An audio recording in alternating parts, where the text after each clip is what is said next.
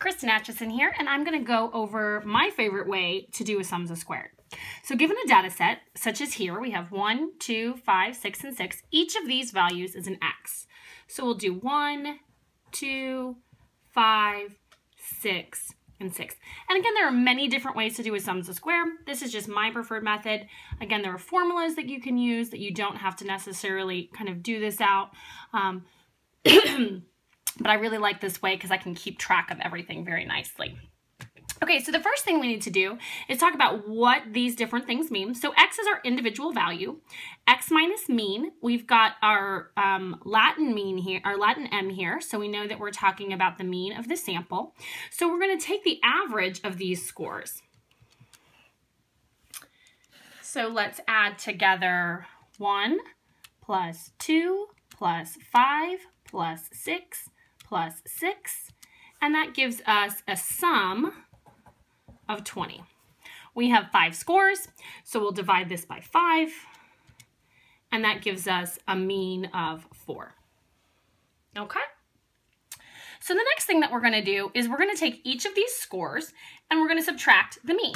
So we have 1 minus 4, 2 minus 4, 5 minus 4, 6 minus 4, 6 minus 4. Okay, so 1 minus 4, and we get negative 3. 2 minus 4, we get negative 2. 5 minus 4, we get 1. 6 minus 4, we're going to get 2 and 2. Okay? Now the final thing that we're going to do is we are going to square each of these values. So here it says that we square this value, okay? So 3 squared is 9, 2 squared is 4, 1 squared is 1, 2 squared is 4, 2 squared is 4. And remember, this is called the sum of the squares. So literally what we're going to do is we're going to add these squares together, okay?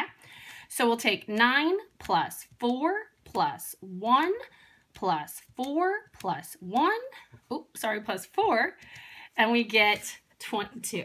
Let's check our work. 9 plus 4 plus 1 plus 4 plus 4, again 22. So the sums of square of the values 1, 2, 5, 6, and 6 is 22. Again, there are lots of other ways to do sums of squared. This is just my preferred method. If you're in one of my classes, this um, these tables, these blank sums of squared tables, are available for you on your e-learning platform. Thanks.